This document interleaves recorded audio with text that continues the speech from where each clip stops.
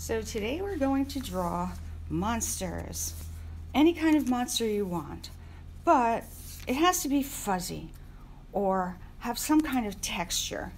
Remember texture is the way something feels and artists make things look like they have texture by putting lines and sometimes um, shadows and dark spots. So you are going to make the body shape any way you want. You can hold the paper vertically or horizontally and use your imagination. So remember how artists use lines and shapes to draw. You can look at an idea sheet to help you. They will be in the slideshow and have different ideas for you.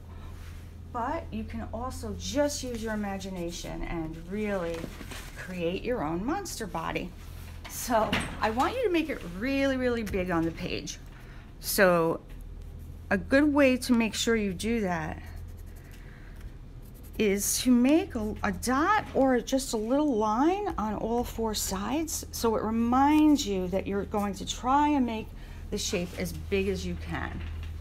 One way to start would just be an oval or a circle and then you can change it because if you're going to give your monster legs and feet you're going to need a little room and same with arms. So just like we did before, practice your shape and then make it. Now, you see, I didn't make a perfect circle. I did that actually on purpose. So just remember yours does not have to be any kind of exact shape. It's a monster. It's a silly monster. And once you have the body, decide what kind of eyes you want. There will be an idea sheet in the slideshow too. One way to make something look really cute is to make the eyes really big. So if you want a cute, friendly monster, you can make really big eyes. And if you want to, you can make a circle inside and color that later. Now you decide, do you want um, antennas? Do you want horns? Do you want ears? You decide what you want on his head. But choose something, whether it's horns or ears. I'm gonna make curly horns. And that means I'm going to draw something like a spiral. A spiral is like a circle, but when you get to the other side, you keep going in like that. So mine is going to be kind of like a spiral, just like that. And then the other way. Whatever you draw, make it so you can color inside. So that means you can't just leave one line. You have to do another one and end it up at the end of the first line, see? Now, if I want to make texture in the horns, I can just make some lines. It would look rough and bumpy, just like when we draw the pumpkin. When we drew the pumpkin, it had lines because the pumpkin was bumpy. Now, do you want a nose or do you want no nose? That's up to you.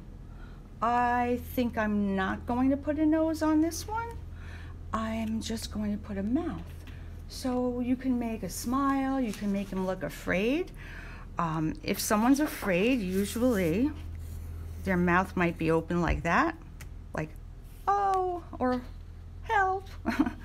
um, you can have their tongue showing at the bottom, and when you color it later, it will look like a tongue because you'll color it the, right um, color of a tongue or make up a color.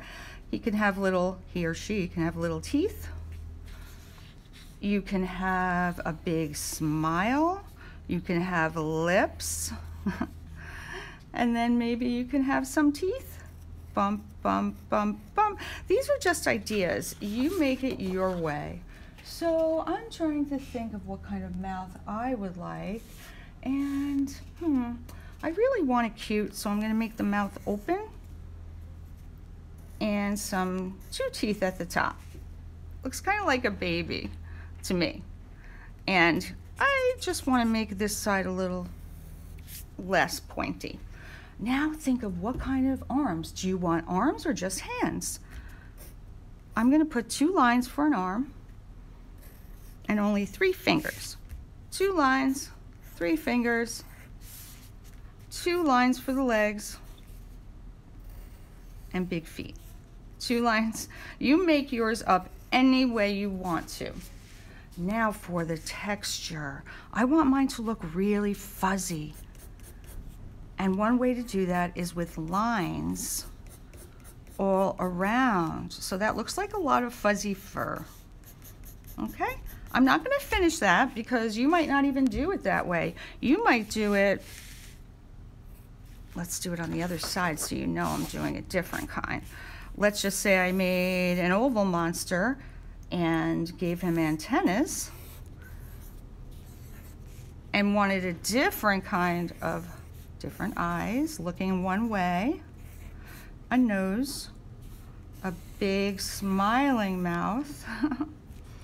he still looks a little worried to me. Bumpy teeth and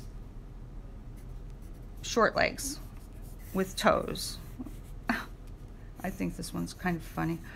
Um, I'll decide on the arms later. I wanted to show you another way to make it look fuzzy, and that could be just making it zigzag lines, because that also could look like fur sticking out, but more clumped together. See? You could erase some of these lines, but remember how big I'm making it, and that's really important for yours because the next step is coloring and making the background black. So if it's nice and big, it should be bigger than the whole background. In other words, it should take up the page so you don't have a little thing on the paper and have to color all around it, top and bottom. You just have to color on the sides and a little bit on the top and bottom. The next step is to say, take a dark marker or crayon. It can be blue or black or anything you want and go over your texture. So this one, I'm not going over the circle. I'm going just over the zigzag texture. That's going to be your next step. And outline, that means go over the lines with the same dark crayon. It can be black, brown, blue, anything that'll show up really well. Now let's make believe I did the whole thing, okay? Because I want to move on to the next step. Pick any colors you want. They can be with markers if you have them, crayons if you have them. Um, I'm going to make mine kind of a pink color and I'm choosing to use markers. So take your time, like we always say, short strokes, short strokes, and color it in. And then I think pink will make it look more friendly too. And then color the feet, color the hands, color the eyes. I'm just gonna make the eyes dark green. You pick any color you want, anything. This is your imagination, your imag imagination monster. Fuzzy texture and using lines to show that. And all the colors you would like.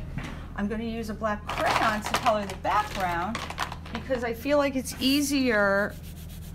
It goes um, you can go a little further with it and not leave white spots when you color lightly with a crayon. You really cannot color lightly with a marker because it soaks into the page, okay? So you can use, again, you can use any colors you want.